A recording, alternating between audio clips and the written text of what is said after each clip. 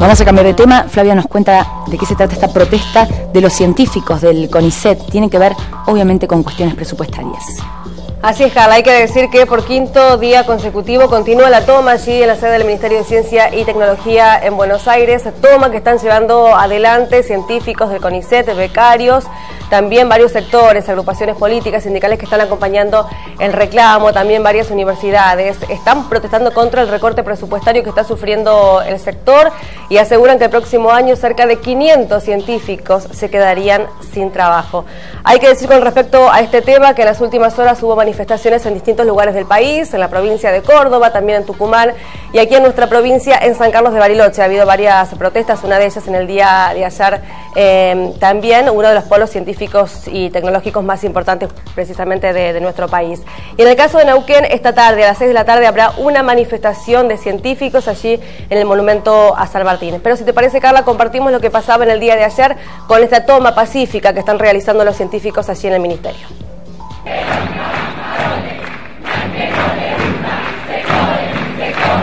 Cuando las autoridades del Ministerio de Ciencia y Técnica fueron a decir que si nosotros retrocedíamos con esta medida de lucha, ellos empezaban el diálogo, todas las organizaciones que estaban ahí presentes dijeron que de ninguna manera que la toma pacífica del Ministerio de Ciencia y Tecnología se mantiene hasta que ingresen todos los compañeros, porque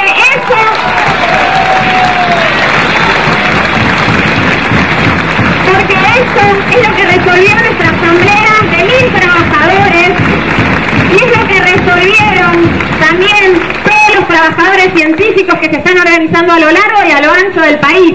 Necesitamos que el ministro nos atienda y necesitamos también continuar con esta medida de lucha hasta que podamos recibir una respuesta y hasta que sean incorporados todos los trabajadores que han sido recomendados por el directorio y que realmente han hecho un trabajo arduo y han aprendido muchas cosas que son sumamente significativas para sus equipos de trabajo.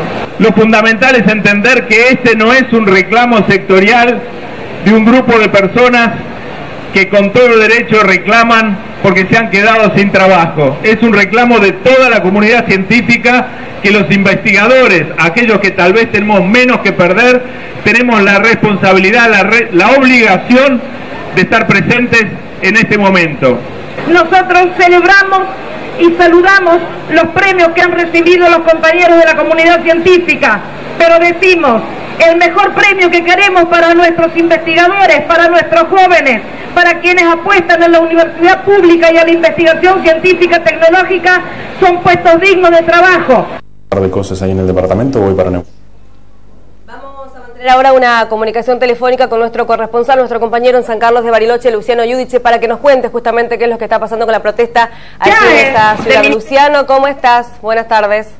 Bien, buenas tardes Flavia, buenas tardes Carla, y bueno, buenas, tardes también a todos los televidentes.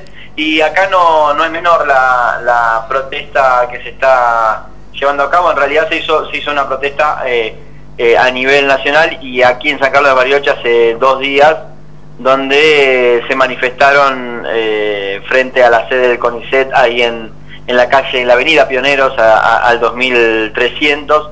Eh, se manifestaron también en desacuerdo con eh, la política que está llevando a cabo a nivel nacional el gobierno. sobre todo dialogamos nosotros en estos días con Víctor Cusac, quien es el director del Centro Científico Tecnológico Patagonia Norte, y bueno, y estaban eh, muy molestos por esta, por esta situación y contaban que el ingreso en todo el país se redujo aproximadamente de 900 a 400 postulantes, con lo cual es, muchísima la baja que hay y aparte, sumado a eso, el recorte que se estima de un 60% para, para lo que tiene que ver para el año que viene, con lo cual están muy preocupados porque bueno, no saben cómo afrontar esta, esta situación hacia adelante. ¿Hay gente que se ha despedido así en San Carlos de Bariloche, en el INVAP y en otra... Eh, no, en, no, en, en, INVAP no, no hay reclamos de, mm, de despidos, sí lo que con la baja del presupuesto lo que se ve para el año que viene y lo que ellos eh, manifestaban las autoridades del CONICET es que, bueno, que, por supuesto, al no al, estar la baja de presupuesto y no poder eh, realizar las investigaciones, eh, van a empezar a bajarse los contratos. Bien, porque había repercusiones de despidos en el centro atómico, por ejemplo, allí en San Carlos de, Bariloche. ¿Cómo sigue la protesta allí en esa ciudad? ¿Va a haber nuevas manifestaciones? Porque en el ministerio van a quedarse, lo que han dicho los científicos, a, pasar Navidad, allí tomando el, ministerio. ¿Qué es lo que va a pasar en Bariloche?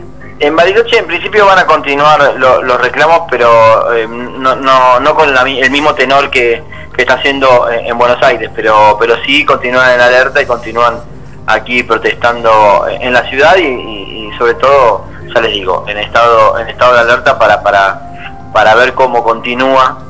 Eh, eh, y la verdad que la preocupación es, muy grande porque es aquí en San Carlos de Bariloche es muy importante la, la comunidad científica, vos lo decías, en el INVAP, en el Centro Atómico, en el CONICET, eh, son muchas las ramas que hay de la ciencia y que y que hay muchísima gente la que está empleada y que, y que desde hace muchos años viene creciendo eh, el área que tiene que ver con la ciencia y la tecnología, así que la preocupación es grande. Preocupación grande, Mariloche, y en todo el país. Gracias, Luciano, por esta comunicación. Hasta luego. Hasta luego. Bueno, así estaba nuestro corresponsal Luciano Yuiche contándonos sobre la protesta de los científicos allí en San Carlos de Bariloche.